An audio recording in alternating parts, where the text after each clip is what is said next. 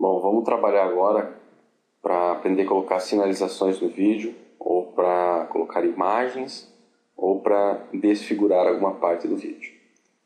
Ah, o programa chama isso de callouts, é, é essa opção aqui, vamos clicar em cima dela. E aqui tem várias opções de efeitos, tá? Vou clicar nesse botãozinho aqui e vão aparecer todas. Então você pode colocar algumas formas no texto, né? Ou algumas é, sinalizações, ou aqui algumas coisas é, especiais que eles chamam. Primeira coisa, vamos trabalhar com esse blur, que é o borrar. Vamos imaginar que esse vermelhinho seja um paciente que você não queira que o rosto dele seja reconhecido. Vou clicar nessa opção, aparece a caixinha aqui, vou colocar essa caixinha onde me interessa.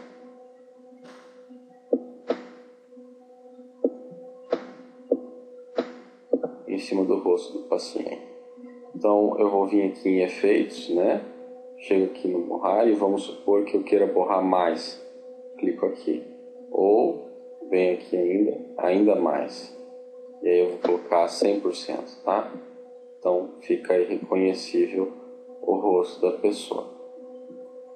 É, ainda aqui no, no, no, no efeito, você tem uma coisa que é a duração dele, né? Então você tem clicando aqui, ó, se você clicar em cima dele aqui, ó, ele já aparece as opções aqui. Fade in e fade out é quando você quer fazer aquela entrada progressiva e saída progressiva do efeito. No caso, como é uma questão da imagem do paciente, eu vou tirar os efeitos. Eu quero que ele fique presente 100% o tempo todo. E aí aqui, ó, é, você pode fazer é, pela, pela barra mesmo, eu acho mais fácil, você arrasta o tempo que você quer. Ele vem até a divisão sempre, da divisão para frente ele não vai. Tá? Então, ó, o paciente está com o rosto borrado o tempo todo. Ok? Bom, é, obviamente que se você não estiver contente com o borrado, você pode usar outro tipo de ferramenta aqui. Vamos, no caso, usar uma bola. Vamos selecionar essa bola. Essa bola já vai direto pro, pro pontinho ali, né? Então eu vou primeiro aqui, ó, tá vendo esse blur aqui que a gente colocou? Vou ficar com o botão da direita e remove from timeline. Tirei. Então ficou só o círculo, né? É, aí você tem efeitos de borda e preenchimento, não vou perder tempo com isso, né? Mas vamos, você coloca na cor que você quiser, preenche da cor que você quiser e aí ficou uma bolinha vermelha lá, né? Novamente você pode aumentar, diminuir, aí você clica aqui no, no efeito, ó. clicou no efeito, já estava clicado, vem para baixo, vou tirar o, se você deixar o fade out, olha o que acontece, ele vai desaparecendo, tá vendo? Ele desapareceu apareceu o rosto do paciente no caso. Então vou voltar, clico de novo aqui,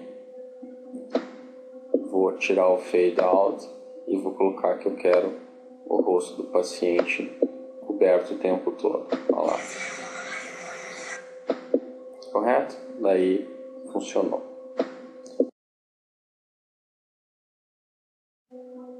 Bom, agora nós vamos colocar um segundo efeito. Né? É, esse segundo efeito é, você pode selecionar aqui, ó. Vamos supor que seja uma flecha, tá? Então, ah, vamos colocar essa flecha aqui.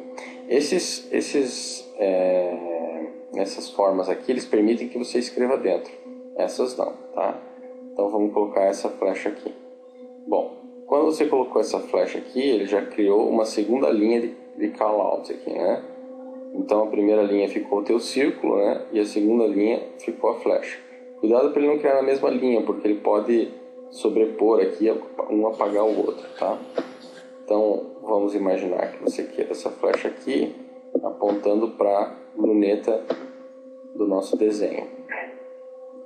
Vamos supor que você queira um conteúdo cinza e clicando nesse espaço aqui você pode escrever o que você quiser, tá vendo? Aparece lá.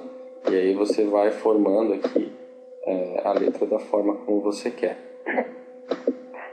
também pode configurar a letra.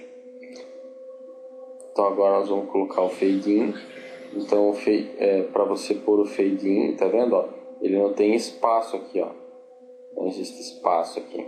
Então eu vou ter que diminuir isso aqui, eu vou colocar 0,50. Lembra que quando eu falo espaço é sempre até o corte do vídeo aqui. E aí eu vou puxar isso aqui, ó, arrastar para cá. Tá vendo? Ele vem sempre só até o corte. Eu tenho esse espaço para o fade in. Se você tentar colocar assim, ó, clica no fade in, ó, ele vai dizer que não tem espaço se ele quer mudar a posição do efeito. Se clicar em Yes, ele já faz automaticamente para você, tá vendo?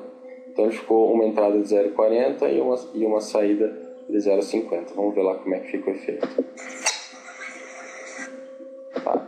Ele tem esse efeito de aparecer e desaparecer progressivamente, se você quiser configurar. Existe o efeito de, de teclas também, que eu uso bastante. Esse efeito de teclas é para quando você vai, vamos supor, eu estou aqui, eu vou dizer, ó, para você fazer isso, clique na tecla Delete. Então, além de eu falar, eu coloco a tecla. Então, vamos, vamos colocar aqui, eu vou selecionar, clico nesse, nessa opção, eu seleciono aqui, aí eu coloco o cursor aqui, ó, tá vendo? E aí eu clico na tecla Delete, ó, e daí já aparece o Delete aqui, ó, tá? Aí eu, a pessoa já sabe que eu cliquei na tecla Delete. Outra coisa que você pode fazer é clicar aqui, daí você vai filmar com a câmera você clicando na tecla Delete, também funciona. É, novamente, tudo a mesma coisa, né? Fade in ou fade out, né? Vamos diminuir aqui o fade out para 0,50, vamos iniciar o fade in, colocamos, ó, daí ele fica com fade in e fade out. Vamos ver aqui como é que fica na nossa rotação dá o play, apareceu a tecla delete e desapareceu a tecla delete.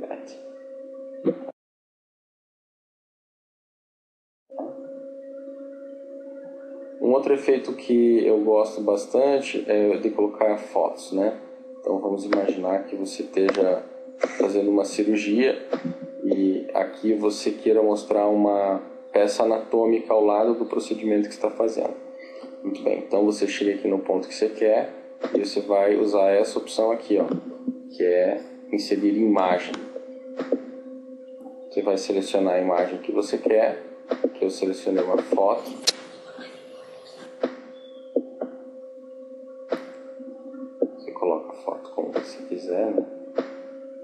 Pode até escrever na foto, colocar umas flechas e tal.